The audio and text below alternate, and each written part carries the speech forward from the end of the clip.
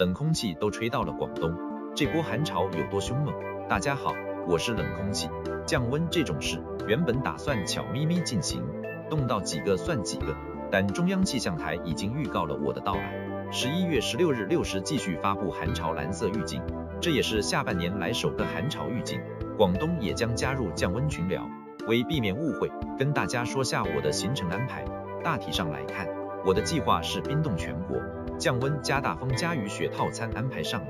十六日白天至十八日，全国大部地区自西向东将出现大风降温天气，气温普遍下降六至十摄氏度，其中新疆北部、内蒙古中西部、黄淮东部和南部等地局地降温幅度可达十二至十六摄氏度，长江中下游及以北地区先后有五至七级。阵风八至九级偏北风，新疆山口地区风力可达十至十一级。新疆南疆盆地、内蒙古西部、甘肃河西地区、宁夏、陕西北部等地局地有扬沙。